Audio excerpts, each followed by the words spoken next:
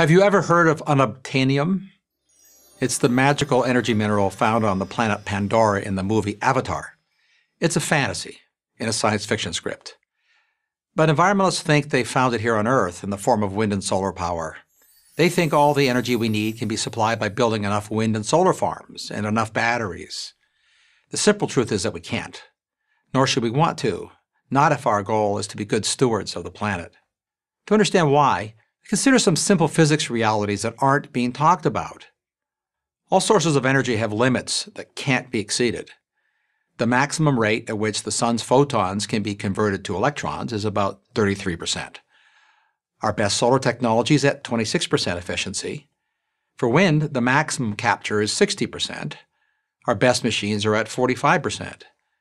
So we're pretty close to wind and solar limits. Despite PR claims about big gains coming, there just aren't any possible. And wind and solar only work when the wind blows and the sun shines, but we need energy all the time. The solution, we're told, is to use batteries. Again, physics and chemistry make this very hard to do. Consider the world's biggest battery factory, the one Tesla built in Nevada.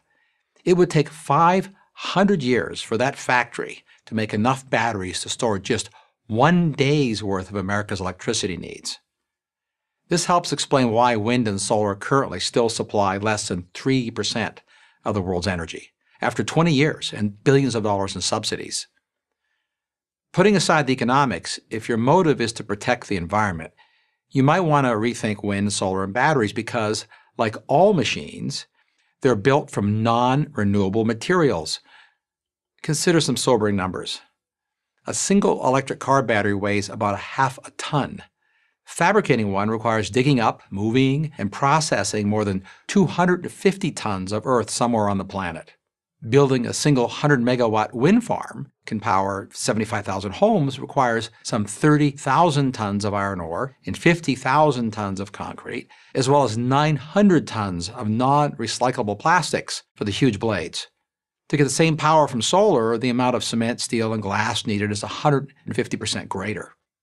Then there's the other minerals needed, including elements known as rare earth metals, with current plans, the world will need an incredible 200 to 2,000% increase in mining for elements such as cobalt, lithium, and dysprosium, to name just a few. Where is all this stuff going to come from? Massive new mining operations, almost none of it in America, some imported from places hostile to America, in some places we all want to protect. Australia's Institute for Sustainable Futures cautions that a global gold rush for energy materials will take miners into remote wilderness areas that have maintained high biodiversity because they haven't yet been disturbed. And who's doing the mining? Well, let's just say that they're not all going to be union workers with union protections. Amnesty International paints a disturbing picture. The marketing of state of the art technologies are a stark contrast to the children carrying bags of rocks. And then the mining itself requires massive amounts of conventional energy, as do the energy intensive industrial processes needed to refine the materials and then build the wind, solar, battery hardware. Then there's the waste. Wind turbines, solar panels, and batteries have a relatively short life, about 20 years. Conventional energy machines like gas turbines last twice as long.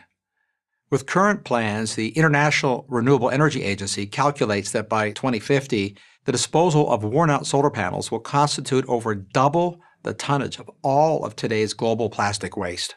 Worn out wind turbines and batteries will add millions of tons more waste. It'll be a whole new environmental challenge.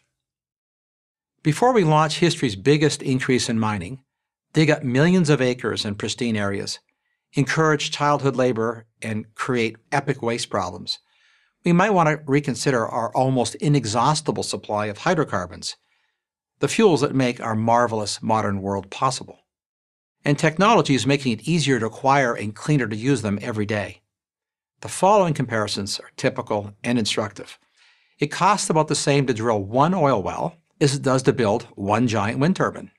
And while that turbine generates the energy equivalent of about one barrel of oil per hour, the oil rig produces 10 barrels per hour. It costs less than 50 cents to store a barrel of oil or its equivalent in natural gas but you need $200 worth of batteries to hold the energy contained in one oil barrel. Next time someone tells you that wind, solar, and batteries are the magical solution for all our energy needs, ask them if they have an idea of the cost to the environment. Unobtainium works fine in the movies, but we don't live in the movies. We live in the real world. I'm Mark Mills, Senior Fellow at the Manhattan Institute for Prager University. Thank you for watching this video. To keep PragerU videos free, please consider making a tax-deductible donation.